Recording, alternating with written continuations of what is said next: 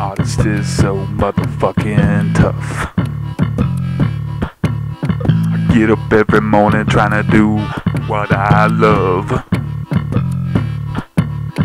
Not really sure what all of this is for. I just keep getting off like Prince in 22 positions, one night stand. People say, People say, people say, people say, people say, people say, people say. people say. People say, What do you do? I say, I'm an artist, man. People say, What do you do? I say, Really, I'm an artist, man. Would you paint my kids? Can you draw me naked? I had an uncle who was an artist too. Okay, you got me. Okay, you got me. Okay, life as an artist is so motherfucking tough.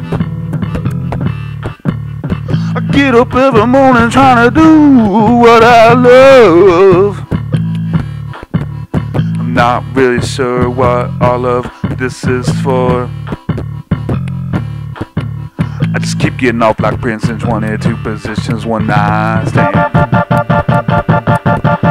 Say you really stoned when you made that shit. My uncle got stoned and he made some crazy shit. Okay, you got me. Okay, you got me. I was stoned to the motherfucking bone. I was cooking crystal meth in my kitchen, Nordic temper. It had bacon, soda straight geek sideways when I made that painting. Life as an artist is so motherfucking tough. I get up every morning trying to do what I love. I'm not really sure what all of this is for. I just keep getting off like Prince in 22 positions, one night stand. Somebody gonna play this kid? Got time served for shit he did. Ways he went, money spent, playing a game he just won't win. Maybe he'll get that MFA, be picked up in LA. Solo show Friday night, overwhelmed and drunk off wine. Please somebody speak for him. Write an article for Artforum.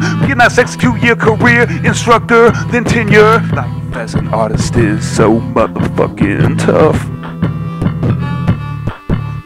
I get up every morning trying to do what I love. And I'm not really sure what all of this is for. Keep getting off like Prince in 22 positions, one night stand.